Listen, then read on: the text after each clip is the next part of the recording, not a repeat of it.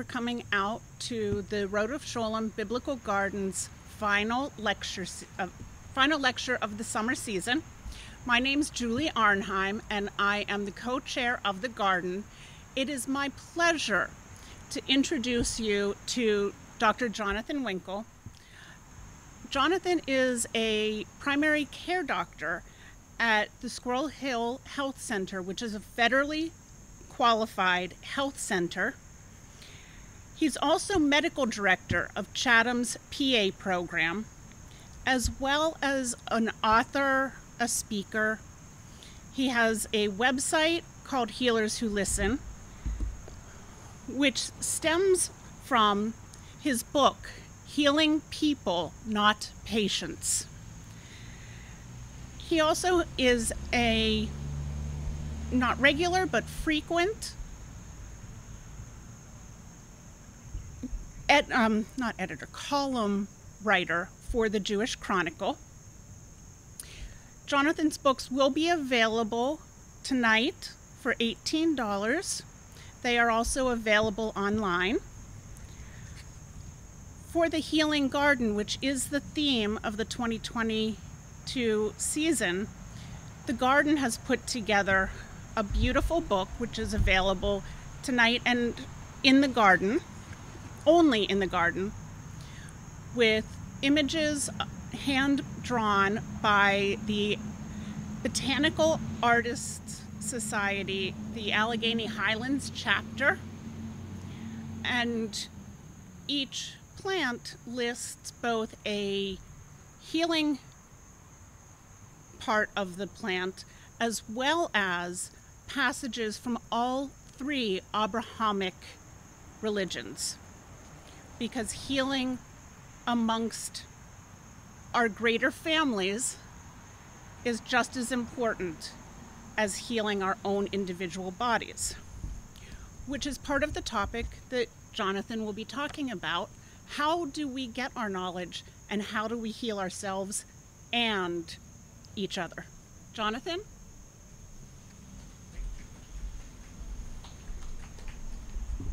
Unless I missed it, Julie didn't mention that we've known each other for upwards of 30 years since we were on the high school newspaper staff together at Taylor Allderdice. So that's the real origin story of how I ended up here. Uh, now I'll tell you the other part of the origin, origin story of how I ended up here. so I am at best a mediocre gardener. I have a grapevine, it was entrusted to me by the previous owners of my house, and it produces enough tart, seedy Concord grapes for about a dozen jars of jelly every August, despite my neglectful care. Out back, I manage almost despite myself to grow a few cups of grape tomatoes and a few hardy green herbs each summer, although my dogs are in the process of trying to dig those up um, and barely check the explosive growth of the mint, which they seem to completely ignore, that I mistakenly allowed to take root in that box a few years ago. I've never been able to keep a rose bush alive for a second season, and even my hydrangeas don't bloom all the way. All of which is more shameful because my grandmother, Nana, Eleanor Goodman, Aleha Shalom, was an excellent gardener. I live one block from the house that she and my grandfather kept while I was a small child, and most of my salient, not most, but many of my salient memories of her include plants. There was a thundercloud plum tree that was in the semicircle between the half moon driveway and the sidewalk. There were the raspberry bushes out back that made the fruit for my favorite pie ever. But many of her favorite plants were not on Dalzell Place. They were right here. So Nana was a docent both at Phipps Conservatory and here at the Biblical Garden at Rodef Shalom for what seemed like forever.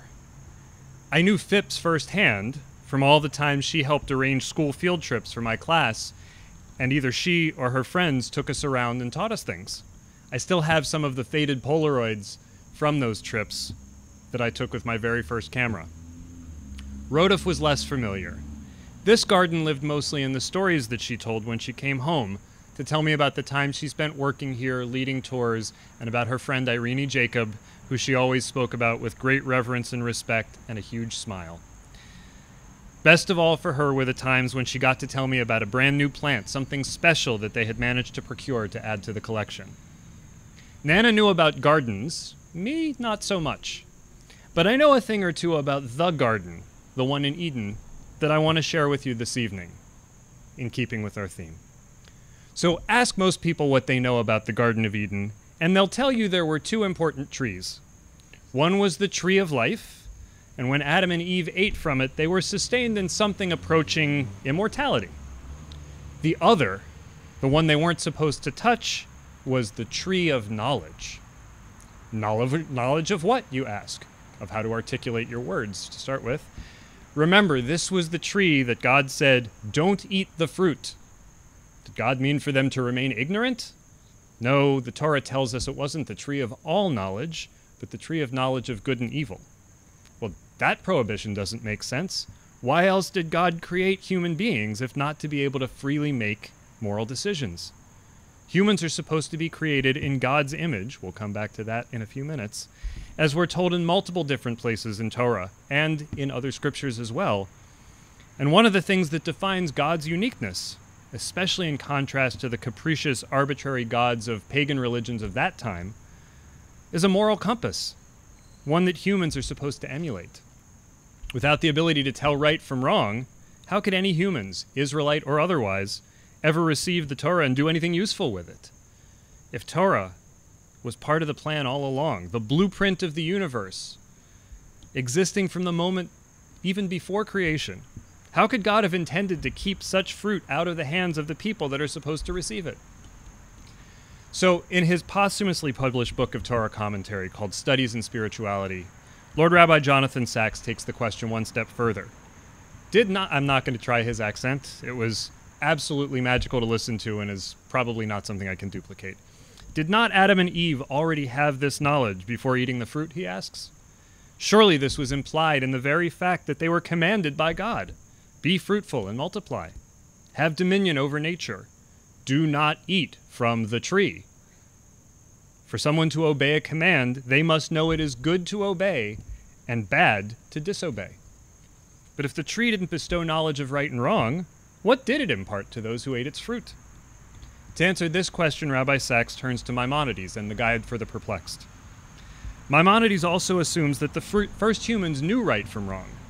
What they lacked and what the tree's fruit provided was the knowledge of things generally accepted. We know what that means. Think of the novels, or if you can stomach it, which I certainly can't, the TV series Game of Thrones. The handmaidens in the caravan, and the ones that attend to the horse warriors, constantly tell Daenerys, It is known, Khaleesi. No source, no citation. It's just known. When I was growing up, I read a few of Laura Ingalls Wilder's Little House on the Prairie novels. Those are a lot easier on the stomach. In one of them, Pa grows some watermelons. Sometime later, there is an outbreak of a contagious disease that the locals on the prairie call fever and og, whatever that might be today. Probably not COVID 19. Some tries, someone tries to blame Pa Ingalls' watermelons, to which he replies, Everyone knows that fever and og is caused by the night air. Well, retorts the accuser, them watermelons was grown in the night air. It is known. And if someone proves you wrong, just move the cheese a little bit so everyone will still be right. But Maimonides means more than local folk wisdom when he says things generally known. So in chapter 2 of Genesis, God plants the two trees in the garden, and the second tree, we're told, is the tree of knowledge of good and bad. The Hebrew is very straightforward Tov, Vara, good and bad. It's unambiguous. But Onkelos, who was a second century convert to Judaism, who spoke Aramaic, and learned and translated the Torah into Aramaic so that his friends and family could learn all of this cool stuff that he was learning, he used a different word to translate Ra, bad or evil. He said vish, which is from the root bet yud shin, which in Hebrew means shame or embarrassment. So according to Onkelos, it wasn't the tree of knowledge of good and evil, it was the tree of knowledge of what is good and what is shameful. So that distinction matters because of what happens next. In chapter 3, we see the servant, the servant, the serpent. I really need to work on this articulation thing if I'm going to speak in public. He goads Adam and Eve into eating from the tree, despite the prohibition. He finishes the exhortation by saying, in temptation, the ultimate prize. As soon as you eat of it, your eyes will be opened, and you will be like Elohim. One could easily read this, and the serpent clearly hoped it would be read this way, as you will be like God. But once they eat the fruit, they don't feel godlike, they feel fearful. They realize they're naked, and they run and hide because they hear the voice of God coming towards them in the garden. When they explain to God why they've hidden in fear, God says, Who told you you were naked? Onkelos renders the word Elohim into Aramaic as Ravivin Hakimin, great wise ones. Maimonides points out that Elohim doesn't have to mean God. It can mean angels, judges, rulers of countries, not just God. Great wise ones, as Onkelos puts it, of knowledge acquired from years of living and experience, the stuff everyone knows if they stick around long enough. Among the things everyone knows is that being naked is shameful. Adam and Eve didn't know that before. Maimonides reasons they knew a lot of things. They knew necessary truths, facts that were observable, about which you wouldn't say good or bad, just true or false. And they were able to reason from these facts and follow commandments, knowing that following God's commandment was good and disobeying was bad. What they didn't understand, Maimonides says, was apparent truths, moral reasoning like knowing that being naked was improper among civilized people. Once they realized this truth, they knew that shame for the first time, and they feared being seen in their naked state. They feared being exposed and revealed. Here, too, Onkelos' translation is really helpful. So the serpent opens the final line of his temptation by saying, God knows that you will become like God if you eat this fruit. Presumably, what he means is, God doesn't want you to eat this fruit because God doesn't want to share this power with you. That's the classic MO of a bad actor who's trying to sow distrust between two people who like each other. But Onkelos changes that God knows to Gale Kadam Hashem. It is apparent or revealed or exposed before God. The Gimel Lamed means to reveal or to expose, to uncover. Almost like saying, go ahead, eat it. You'll be like the great wise ones, but you'll also be completely exposed before your Creator, from where there is no hiding. I've basically spent my entire career from the second year of medical school trying to move away from the use of shame as a tool. Um, one of my secular mentors from afar, Dr. Bernard Lown, who actually died just a few months after Rabbi Sacks passed, uh, he was just shy of 100 years old, and he wrote a book called The Lost Art of Healing. In his book, there were two chapters words that maim and words that heal. Highly ranked among the words that maim were words that cause a person to feel shame. Medicine has long inflicted shame upon people for their weight, their lack of knowledge, their behavior that contributed to their illness, their parenting, their ethnic background. Lown argues for a different set of words. Words which are positive, which are constructive, and do their own healing work even before we prescribe a treatment. Rabbi Sacks provides the reasoning behind those words. So in his later works, he comes back to this theme over and over again that there are two major types of cultures guilt cultures and shame cultures. Now, that's not his formulation. It comes from a post World War II book by a woman named Ruth Benedict, who was an anthropologist, uh, I believe called The Sword and the Chrysanthemum. Uh, I, this is one of his favorite sources to quote, and so he comes back to her quite often. Guilt cultures teach that certain actions are right and certain actions are wrong, and when one performs a wrong action, they should feel guilty. They should recognize that the action was wrong and a desire, an obligation to set things right. What we would call in Hebrew tshuva. The morality that Adam that's that every time I say something worthwhile it goes off. it's valid it's validating me. It's like sneezing. um, somebody else will take care of the sneezing. The morality that Adam and Eve already knew and that's reinforced over those two millennia that, that came after in the biblical narrative is a guilt morality. Shame morality, on the other hand, is that a person performing a wrong action recognizes that they are wrong, that they've been exposed to everyone else as a bad person. They can't go out, they can't speak publicly, their families are marked and stigmatized. Shame can't be assuaged by setting things right, it can only be ended by disappearing or by hiding. We bring another commentator, Rabbeinu Bachya. He was a couple centuries after Maimonides, and he imagined Adam and Eve as being created with superior intellect from the beginning. We read, in our divine image. Bachya describes Adam's intellect as totally spiritually oriented. Now, to me, that makes him sound like what the classical economists call the so called rational actor. We'll talk about what a rational actor is and why it doesn't exist later on. He and Eve are unaware of their bodily desires. They consider all their organs, the sexual ones and otherwise, in the same kind of indifferent way. Once they eat the fruit, though, they're conscious of urges and desires that they hadn't considered before. Bachya says that at that point, he was immediately punished by being stripped of his ability to use his intellect objectively. There's one of those other words that we imagine actually has real meaning. From that moment on, considerations such as physical desire, appreciation of physical beauty or ugliness clouded his previously pure intellect. So the punishment, according to Bachya and according to Maimonides, is not just the end of Adam and Eve's immortality. Instead, it's the acquisition of one kind of wisdom at the expense of God given intelligence. Created as perfectly rational beings, the entry of everyone knows that wisdom and consideration of desire into their minds means that their reason was now diminished. Instead of considering only the truth and falsity of a question, they're now considering how it's going to affect their goals, what other people will think of their decisions, what will the neighbors think. there weren't any neighbors at the time, so I don't know what they were worried about. Um, and how the objective truth squared with their view of, quote, the way everyone knows the world works. In other words, they became fully human. In doing so, they also became capable of shame. It's often when someone else lays bare our pursuit of our desires for alcohol, for sex with the wrong person, the wrong person, for too much food that we feel the most shame. At those times, our first impulse is to cover up, to bury the evidence, and hide. And now it's a break for water.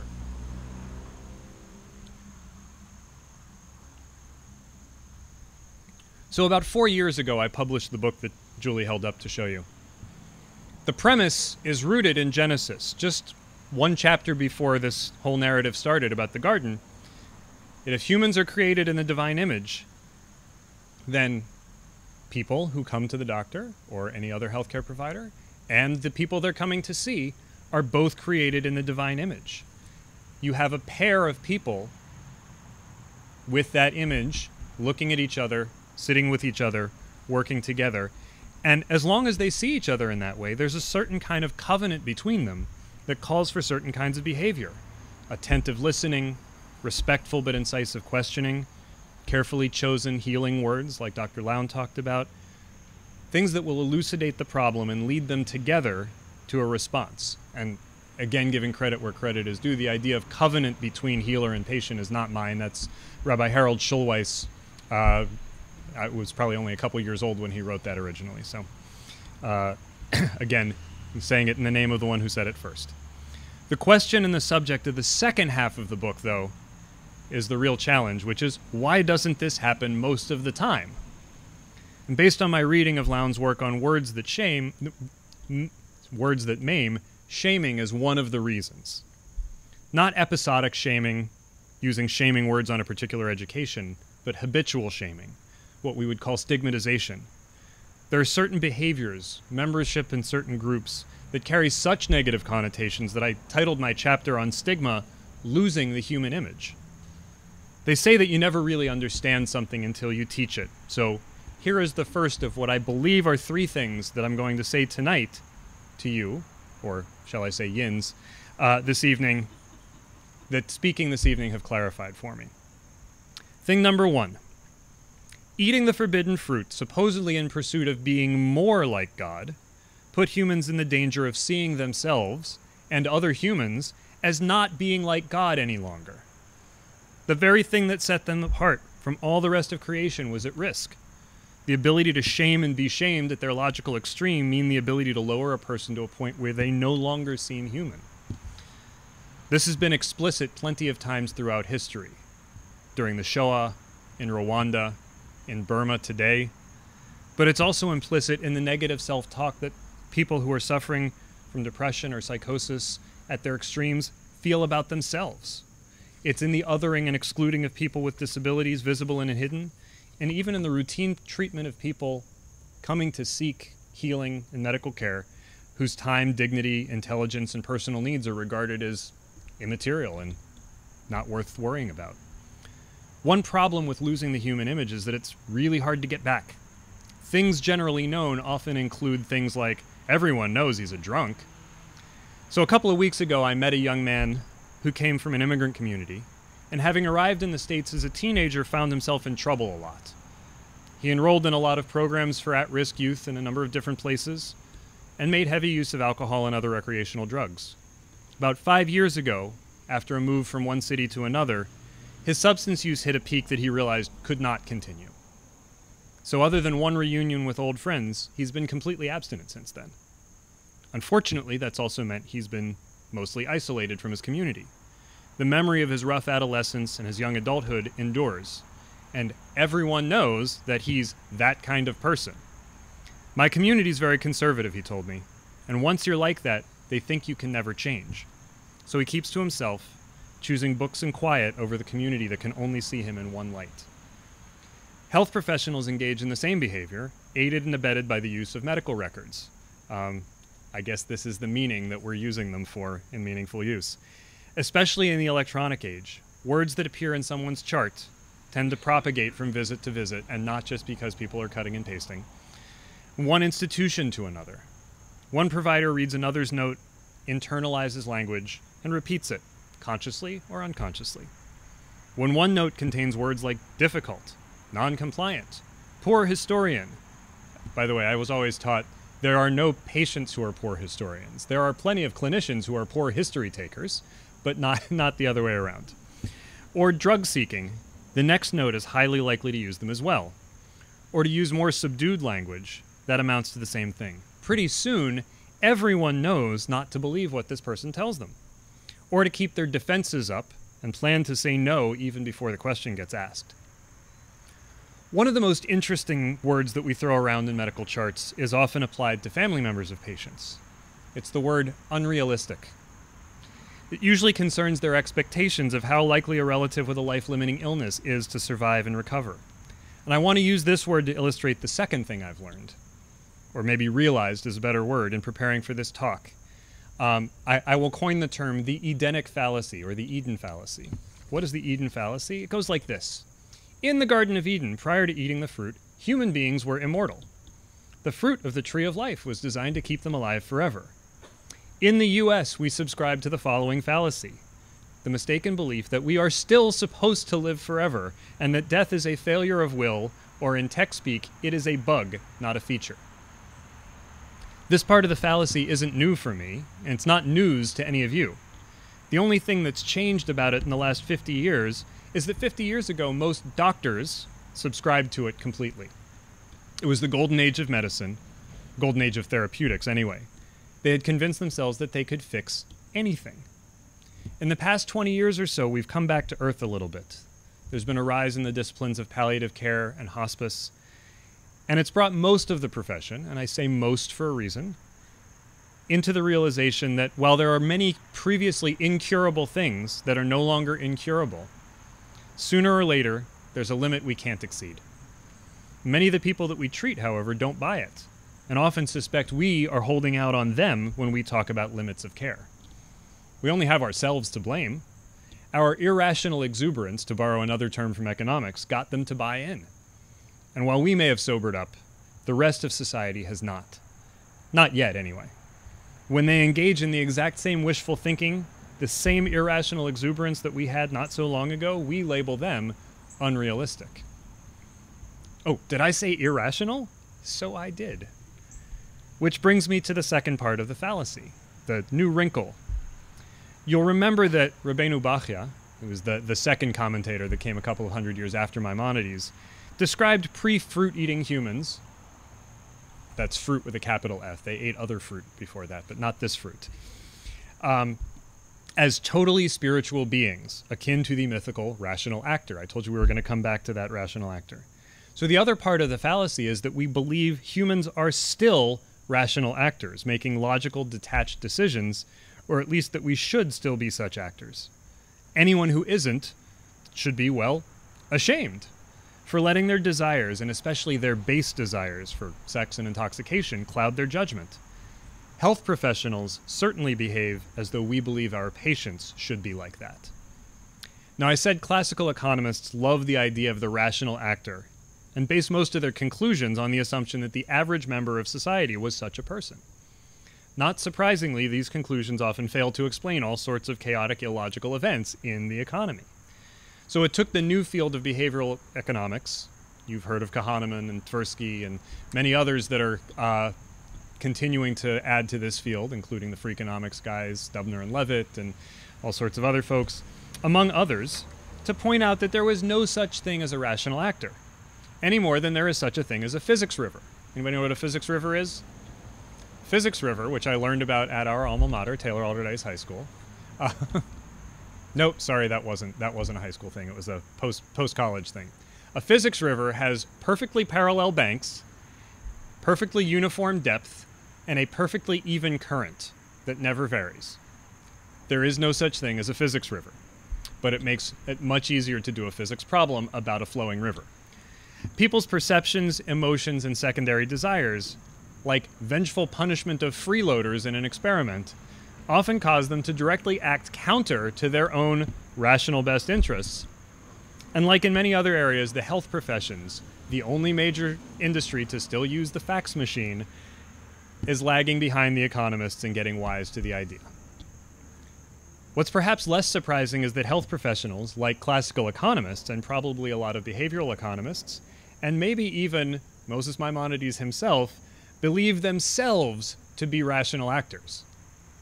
Sure, we can allow that the patients have turbulent emotions and that their judgment is clouded by those big feelings, or by pain, or by the drugs that we've given them to relieve the pain.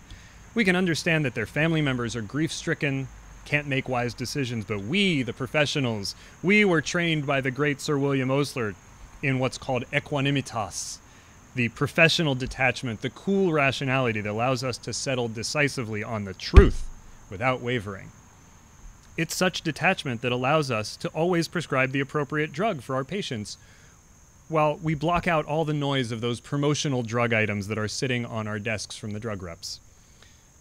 While our less rational colleagues down the hall are hopelessly compromised for accepting the same kind of swag. So, Rabbeinu Bachya was the mystic in this group, so rather than the rational actor Maimonides, he reminds us of what's really going on. In this non Eden world that we live in, all sorts of things have clouded our previously pure intellect. Patients, families, and providers alike are driven by a bubbling stew of facts, opinions, emotions, and physical urges, each one of us trying to resolve all that data into a coherent path according to our own unique set of priorities. But stop for a minute and consider what it would be like if we weren't. That bubbling stew sounds a lot more human than that entirely spiritual, rational being that we were talking about from before the snake came along. If anything, Adam before the fruit sounds a lot more Vulcan than human. So that brings me to the third thing that I think I've learned or realized in preparing this talk. And that is that I don't think the Torah meant for us to see the eating of the fruit as a sin or what happened afterwards as a punishment. I think it was part of the plan all along. A step in the process of creating fully human beings, just like the separation of Adam into gendered individuals, or the initial statement of, let us make human beings in our image. The image of God in chapter 1 of Genesis refers to awareness, intellectual and spiritual awareness. These are beings that can think and understand, but there's something lacking in a being with only those two components. And something that we know God also does is feel and have feelings about what's good and bad. Creation is good. Each part of creation is good. It says so every single day. Tuesday, it says it twice. And all of the parts together, as we learn at the end of the sixth day, are very good. What's not good, in God's opinion, is loneliness. The first time God speaks of an ungood thing, yes, that I borrowed from George Orwell, you won't hear that one again, is when God declares, Lo tov hiot adam levad. It is not good for the Adam to be alone. What does God know from loneliness? Well, according to the mystical tradition, God was so lonely that this infinite being actually self limited and withdrew from the boundless universe to create empty space into which the universe could explode and expand. So that there would be space for there to be human beings that could eventually be partners with the divine. The Adam didn't go to God and say, Hey, God, I'm lonely. God anticipated that it wouldn't be good for Adam to be alone. It wouldn't have even occurred to Adam to say in that space to know what lonely was. He was in the garden and everything was fine. He had no desires yet. So God is already foreseeing, even before the snake's forked tongue begins darting in and out, that Adam will become aware of needs and of wants and of desires and, yes, of loneliness. The God that created the donkey of Bil'am thousands of years before it would be needed for the narrative also created this option for Adam to know about loneliness and what to do about it. A mate, someone to be both a helper and a confronter when the time was necessary to confront Adam when he was doing something stupid. So maybe the verse, you will be like Elohim, knowing good and bad, doesn't mean angels. Angels don't think, they don't feel, and they don't know good from bad.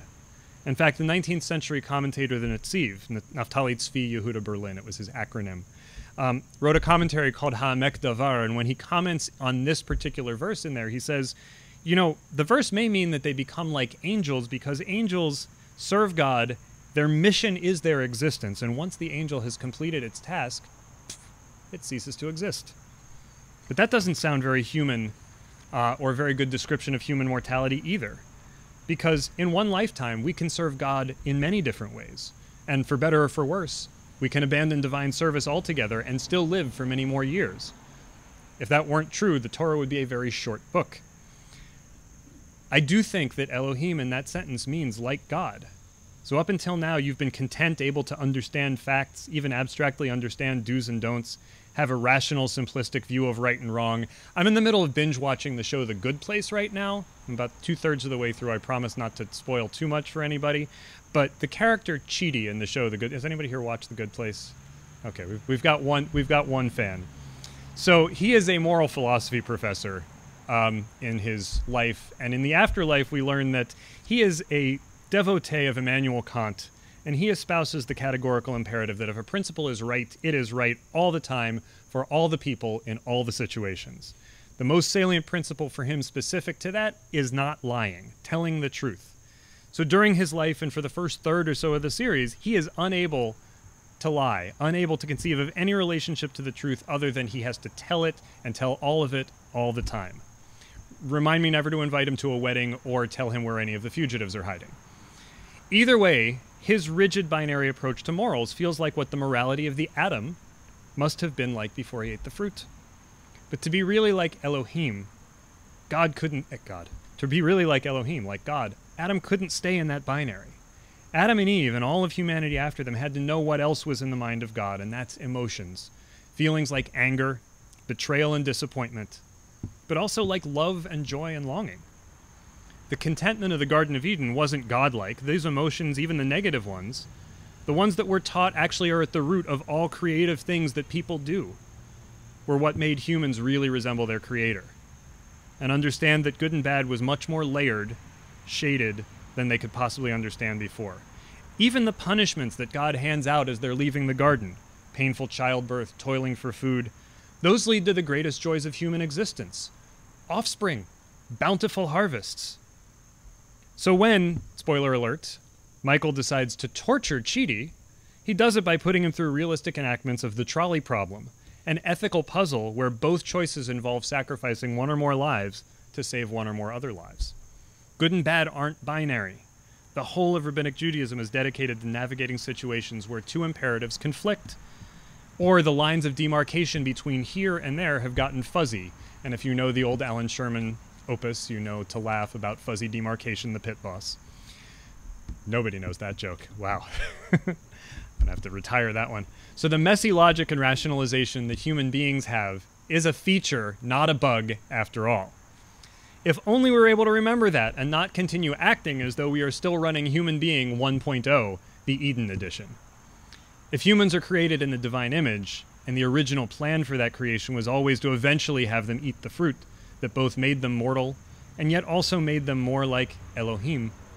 The end result of eating the fruit was going from Vulcan Adam to messy human Eve and Adam, then as follows regarding another human being, made in the divine image, means embracing both their intellect, which is unique among the creatures on earth, and the emotion, which is unique not only among creatures, but between each individual and the next. And even when the morass of human caprice and frailty is maddening, as healers, we can't turn away because that's what human beings are. This is what God is, and we are seeing the face of God, one unique iteration at a time. The most godlike feature we have is the need for connection, the need not to be lonely. So, this explains my willingness to engage in nonlinear discussions, nonlinear logic, nonlinear outcomes. It also explains why the working relationship between healer and person is primary in my work ahead of diagnosis, ahead of me- medication reconciliation, which I actually hate because it's so tedious. Um, and it explains why I pick up and use often discarded data like stories, emotions, and traditions. The most godlike feature we have is the need for connection, and it takes a lot more than a list of symptoms or a medication list to make that connection. But think of the challenges facing medicine in terms of the in terms of this fallacy. The lack of sufficient time for meaningful encounters. Messy human Eve and Adam take time to relate to. They have needs and desires that others may find shameful or laughable, but that are only human. They do not think linearly, and they do not crunch evidence like computers, even if they have advanced degrees and profess rationality. If only their healers, the professionals who care for them, could see that. Or, to take Rabbi Sacks's approach, hear that. Because when he returns to the ideas that shame cultures are visual, concerned with how we appear to others, he links the shame that Adam and Eve feel after eating the fruit to their reliance on their eyes, on seeing that the tree is attractive before eating the fruit. And the serpent preys on the visual as well by pointing out that they didn't die when they touched the tree. But guilt cultures like Judaism are based on hearing. We hear commandments, we hear teachings, and perhaps most importantly, we hear stories and narratives and emotions. When we err, it is our actions that are wrong, not our persons, and we begin our journey back into the community by speaking words confession, apology, being honest with ourselves and those we hurt with our wrong actions. We then listen to guidance about how to change and how not to behave when the circumstances repeat themselves as they always do. A, he- uh, a healing culture is a hearing culture. And while physical examination and use of all the senses is critical to the practice of medicine, Dr. Lown taught that 75% of the correct diagnosis, and for me, 95% of the relationship, comes through getting a careful history, which involves asking just the right set of questions and sitting back to listen attentively to the answer. A healing culture is a hearing culture, not a seeing one. We don't look at the shame or the stigma, only at the person carrying its burden. And a healing culture is a hearing culture that listens to the emotions and the anguish and the indecision and still finds a way forward. So, lest you think that I'm suggesting that healing is just about accommodating all of people's desires and whatever mess we encounter and letting it go, even if that ultimately generates harm, remember that when we talk about the emotion that humans have that made them even more in God's image, well, when God displays emotion, what do the human beings do? They call God out. Abraham says to God, Hey, those people in stone, there might be some righteous people in Sodom. You should really think about them before you destroy the city. Moses, when God gets angry and is threatening to destroy the people and start over, says, Whoa, whoa, whoa, wait a minute. Do you want to give the Egyptians the last laugh?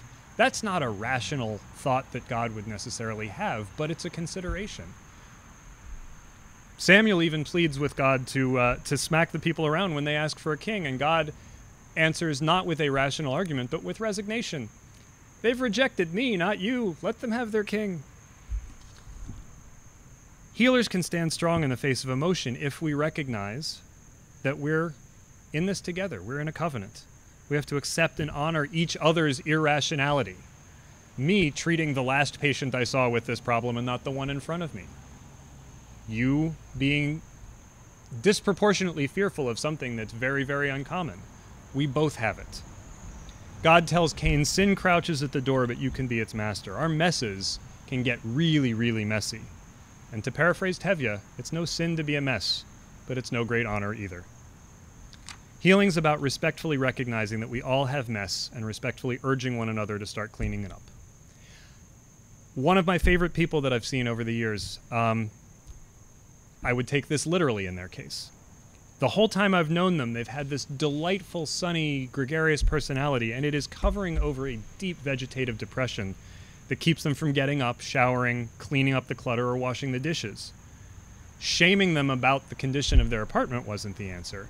Encouragement, validating that the mess is there without endorsing the mess continuing to be there was the answer. And it worked.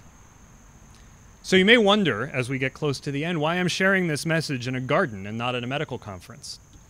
So, among the many hard lessons that we've all learned in these last 30 months is that we are all likely to be called on at some point to be healers. Doesn't matter how many capital letters, including if it's zero, we have after our names. There's been a huge exodus, I don't know if you're aware, from the medical and nursing professions.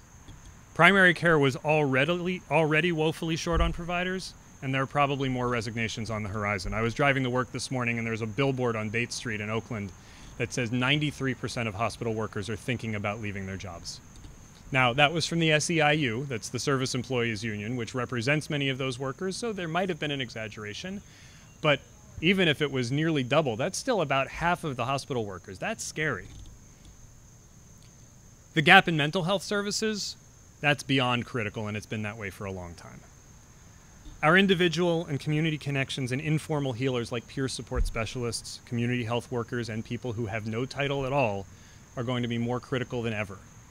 They're going to be the Strega Nonas, like in the storybook, or Aunt Esther in the August Wilson plays that people go to when they need help. We're going to be much more effective in that role, meaning everybody who's not standing up here and who doesn't have the fancy letters. If we remember that our neighbors and loved ones are created in the divine image, so are we, but that means that we are all complicated, multi layered, decidedly non Vulcan beings, and so are we. So that brings me back to the beginning. Not the beginning with a capital B, but the beginning of my talk. When I moved into the house, I tasted the first grape to ripen, and it had such tough skin and such large seeds that I knew I wasn't going to eat it. So, for the first five years in the house, I had firmly believed that I could make grape juice which would taste just like Kedem kosher grape juice served at Kiddush and Shabbat dinner nationwide. And sure enough, the juice I made my first year was sour. I mean, we're talking like Fox and Aesop's Fables sour. So the next year, though my dear Rabbi Seth Adelson was kind enough to drink a full glass and proclaim its fi- fine qualities, it was sour. and the following year. So finally, over my irrational insistence that I would get it right with a few more tweaks, I heard the subtext of my children and wife telling me it was awful, really more text than subtext, and read between the lines of Rabbi Adelson's kindness, actually subtext, that grape juice was a bad idea. As God told Moshe at the waters of Mara, don't complain about the bitterness of the water, do something to make it sweet. So I listened. I added sugar and pectin and a little bit of earth balance because that gets rid of the froth. And I made really fabulous grape jelly every year since then. The goal of this whole endeavor of healing is not to help people live forever. That's the Eden fallacy, also. And we're all wise enough to know now that the mortality is built in. But the Eden dream? That's something else that the prophet Micah shared with us long ago, and there is a segue here. The dream of Eden, according to Micha, is V'yashvu ish tachat gafno v'tachat te'enato ve'ein machrid. They shall sit every person under their vine and under their fig tree, and none shall make them afraid. If I can help someone, even for a moment, achieve this degree of peace, or if you can do the same, with all the physical and emotional forces pushing them into distress, then we're doing our job. So thank you for listening. Um, since I finished with my vine for the year, I'm going to go find a spot under the fig tree and answer any questions you might have. thank you.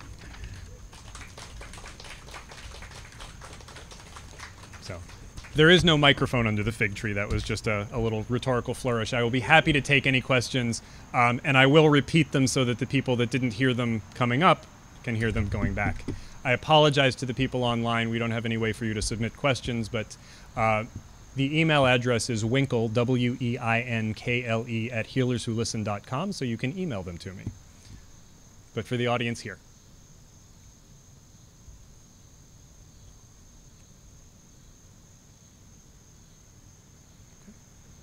I was taught to wait 30 seconds in silence, so I'm just going to wait a few, more seconds.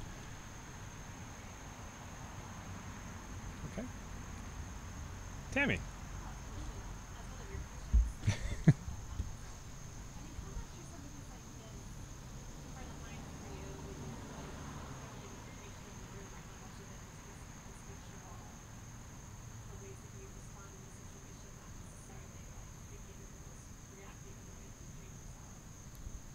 Great. So Tammy asked the question uh, after outing herself as somebody who comes to see me and my partners. Um, how much of this is in the front of your mind when you're seeing your own patients uh, with everything else that's going on and all of the, the time and additional pressures, including people knocking on the door, needing my attention somewhere else? Um, so I'll start with my mess, which is I don't sleep very well. Usually, I'm pretty hung- I'm hungry nearly all the time. That's just the way my body works, and I have lots of different things that I need to be accountable for because I'm usually the person in charge of two or three of the other providers in the office in addition to myself. I wrote this book and published it four years ago because I have really, I, I genuinely try to push myself, no matter what kind of a mess I'm in, to do these things, to rem- to remember not to lose my temper, to remember not to dismiss um, somebody's emotional state, not to dismiss somebody's uh, concerns about things, no matter how odd they seem to me, no matter how irrational they seem. I am really attempting to do this. Um, and I'm attempting to teach my students to do this as well. Those, those of you who do come to see me uh, have probably noticed that there are almost always students, not just from Chatham, but also from Pitt in our office all the time. Um, and in the back, when I'm not in front of a patient, I will often comment on language that they used, or here's a different way you could ask that question, or pay attention to this nonverbal cue the next time. Um, we really are working that way, and and I I want to be very clear that it's not just me, right? This is part of the reason that I feel comfortable working where I do is because the health center espouses this ethos as well. Um, it doesn't, and those of you who come there will know it doesn't always work out that way. Um, and it is hard to keep it that way at every stage of the game, both among the providers and among the nurses and among the people answering the phones, especially with the frustrations of the last two and a half years. And we've had some additional challenges that aren't pandemic related on top of that. But I really do try. And I'm certain that on a daily basis, I fail at least a few people in that regard. And that's the tshuva that I have to keep doing, the, the, the work that I have to keep working on. Julie. As patients, Mhm. what do you recommend us to be able to Mm. talk with providers to get them to listen? Sure. Um, I will as soon as I'm ready to answer it, because otherwise I'm going to start talking and then there'll be another long silence. Okay, so Julie's question is as patients, so if you are somebody who is not in a healing profession or a healing position, but you're looking for help, what's something that you can do to get the person who's helping you to listen clearly? Um, it really helps to for starters, come in with your agenda clear in your mind. Um, even things that you may be a little bit embarrassed about, um, and I, I will give an example of that in a moment, but to come in with an agenda and one that seems manageable. Even somebody who has all the time in the world, um, there's a concept that I got from emergency medicine called cognitive load. And even the best, fastest, most capable emergency physician has a limit to how much cognitive load they can take on in one visit. Um, I can do about three things really well in any visit. I can do five things pretty well, and beyond five, I'm kind of a mess. I'm guaranteed to forget at least one of the things if I go over five.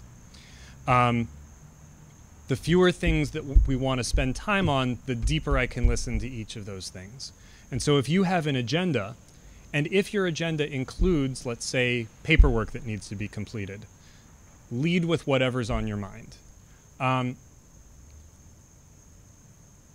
second thing is, I know there's a power dynamic, and I know it's really hard to push back on that, but it is okay to say, I don't think you heard me, or I said this thing because it's important. Now, you're all here because you are activated, careful listeners, you have lots of interests. People who are not in quite the educated, speaking the same language, having the degrees and the qualifications position that you are, may not even realize that they have a thing that's really bothering them. They may not be able to articulate it. My job is to look at those things and pick up that there's something that they can't articulate, that something's not connecting. But the last piece of my advice to Julie would be if you feel like the answer you got wasn't the answer to the question that you asked, even if it was the right answer to some question, point out the disconnect. Um, it won't always work. Um, one of the things that I've learned the hard way through doing this work is that I can only promise somebody that I'm taking care of with regard to my own behavior and my own actions. I cannot promise anybody else's actions are going to live up to a standard that I set. Um, by the same token, I can't necessarily promise that my actions are going to live up to somebody else's standard uh, because certainly I'm not the best in the world at this. I'm just the one standing up here talking about it.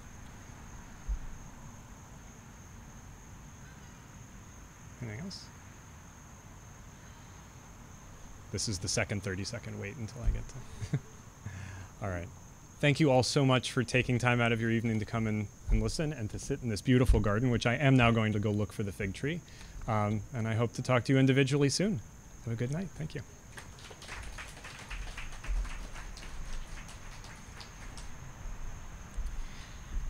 Again, thank you, Jonathan, for such a wonderful, thoughtful talk on both religion and how to look at what we need as human beings. I'm curious to know what takeaways some people have had. My number one takeaway was that we all can feel lonely at times and that community is so critical. So, with that said,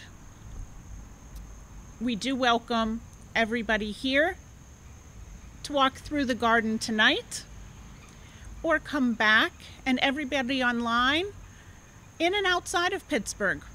We hope to see you either this year, we close on September 15th, or come back next year when we're open June 1st to September 15th. And yes, I'm going to be the marketer and show the books again. So the books for our garden are $10. Jonathan's books tonight are $18 and you can order them via Amazon as well. His books, not our books. They are cheaper in person tonight. Thank you.